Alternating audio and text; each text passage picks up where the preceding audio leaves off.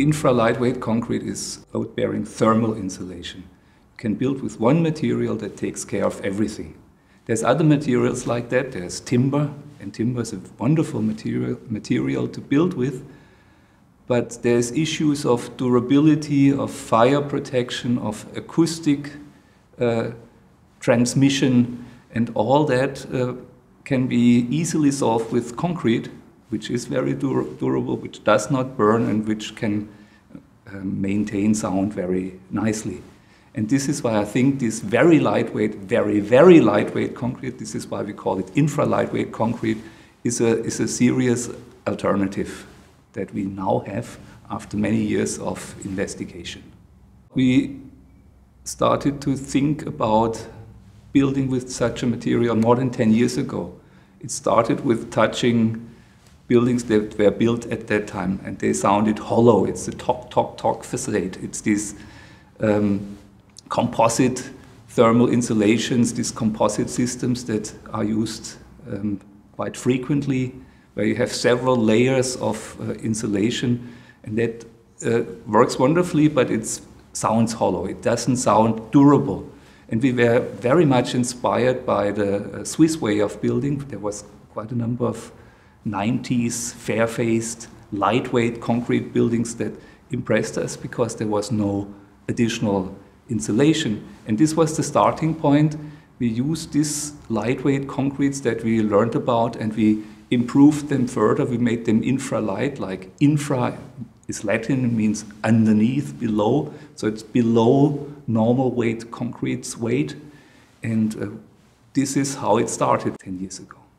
And um, the secret is uh, actually no secret. All you do is you substitute heavyweight aggregates like gravel, by lightweight aggregates. That could be pumice, natural lightweight materials, but it could also be inflated clay, it could be foamed glass that you use instead of the gravel. And then you get very lightweight concrete that weigh below 800 kilos. This is where normal lightweight concrete starts. This concrete is so light it floats in water that makes causes trouble when you do uh, test cubes because they float away. Um, but these lightweight concretes, they're, they're very porous. You can also um, add some foam agents to get more air bubbles, and all that uh, creates insulation in a way. So we have very lightweight, infra-lightweight concrete that becomes load-bearing insulation, and that we have used 10 years ago for an experimental building, and now after 12 years of testing and investigating, we think we're ready to go. I think there's an enormous range of applications, possible applications. The house we built 10 years ago proved that infra lightweight concrete is durable and stable. There's no cracks, there's no wear, it looks the same, there is no deterioration whatsoever. That means you can use them for all kinds of buildings. We have improved the strength of the concrete by now so that you can build 10-story houses without trouble. But you could also use it for supermarkets because uh, when you go to the supermarket, you don't leave your coat at the wardrobe. You go like that, and that means there's not so much insulation, thermal insulation required at such places. So that would be a wonderful application also. And this, this is just to give you an example. There's a huge range, and uh, actually we are working on a couple of projects like that right now. So just a few weeks ago, we had the topping out ceremony of a small building here in Berlin, the so-called uh, Concrete Oasis, a very strange name. It's um, done by a public client, and that is very important, so that the public client shows interest. And it was um, finished with a very nice surface and infra-lightweight concrete of only 700 kilos per cubic meter. So that shows that it's uh, possible. We got a, a permit to build it because it's still not in the codes, this material. And um, this um, is a starting point. We are also working on a 10-story building with Barkow Leibinger architects that is made of prefabricated elements.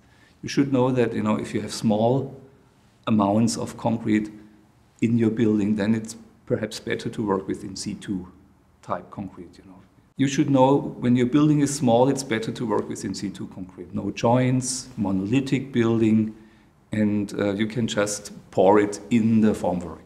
Now, if buildings get bigger and you want to build fast, then you should start thinking about prefabricated elements. In the case of the 10-story building close to Alexanderplatz that we're working on with Barkow Leibinger, uh, we are trying to apply the idea of precast elements. So you concrete the slabs of the individual floors and then you just put the wall elements on top, windows in between, and that should be a very fast way of building because it's only concrete elements, no additional insulation, very easy details. You just um, bolt the window frames to the precast elements.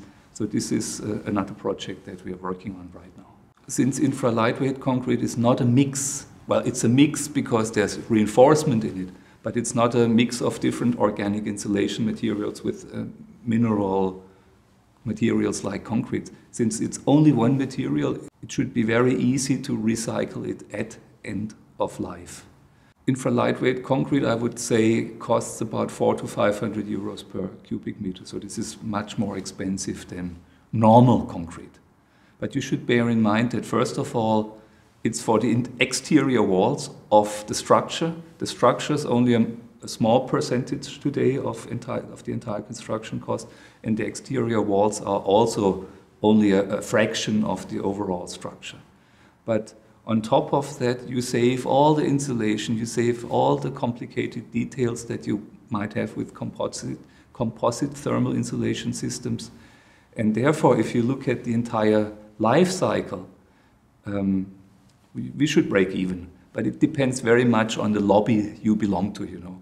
Then you can uh, work on the parameters and defend any systems. But personally, I think that um, we can break even with conventional wall systems, and then if you compare it to double layer wall systems with interior insulation or uh, stone facades, stone, stone cladding, then definitely infra lightweight uh, concrete will be more economic. Infra lightweight concrete is for thermal insulation. That does not only mean that you have to keep the winter away.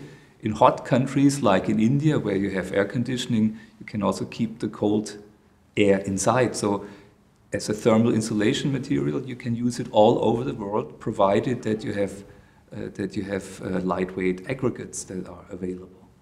In other countries, in other situations, think of earthquake. Uh, since it's lightweight, there's less mass that gets moved in an earthquake, and therefore it could be a wonderful material also for earthquake uh, regions. But here in Germany, it's mainly as a thermal insulation material for cold winters, so to say, to keep the heat inside of the building.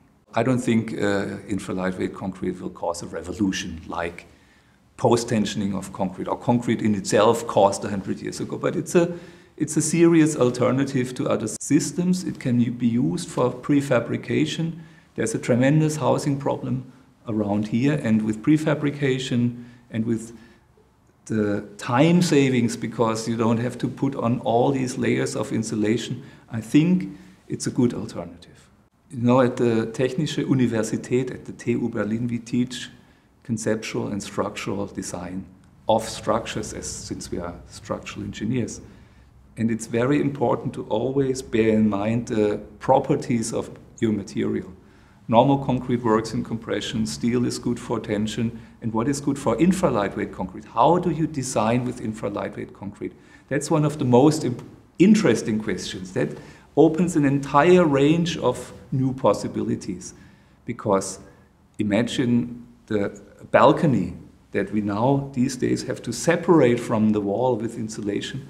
If the balcony itself is insulating, you know, it can grow out of the wall again like the Gaudi buildings. There's all kinds of different approaches. So it will open up a new type of building, I'm convinced.